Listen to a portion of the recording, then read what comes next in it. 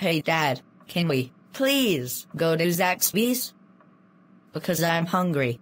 Sure, since we don't have the ingredients to make chicken salad sandwiches. When they got to Zaxby's. Hello, and welcome to Zaxby's. How may I help you all tonight? I will like to have the Cobb salad and a large sweet tea. And I would like to have four pieces of chicken tenders, french fries, and a large Sprite. I'm sorry to say this, but we're all out of Sprite. Really? Uh, come on. But don't feel bad.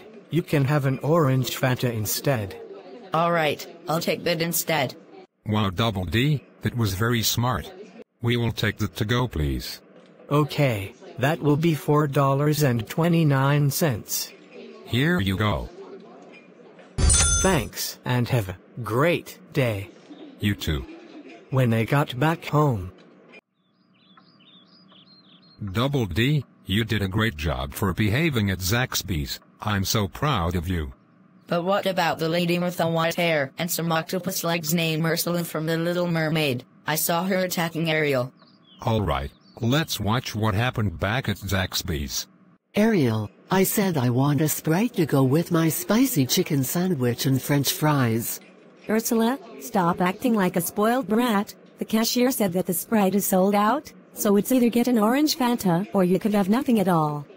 Oh, why don't you just spank me? Come on, Ariel. Spank me, spank me, spank me, spank me, spank me, spank me, spank me, spank me, spank me, spank me, spank me right here at Zaxby's.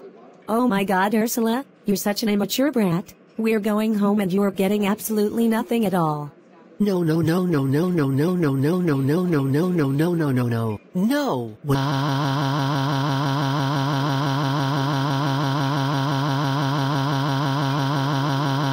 Aw, Ariel, please. Give me another chance. I will be good. I will behave. Double D, since you behave at Zaxby's, you are ungrounded forever. You can hang out with Ed and Eddy if you want. Thank you so much, Dad. You are the best.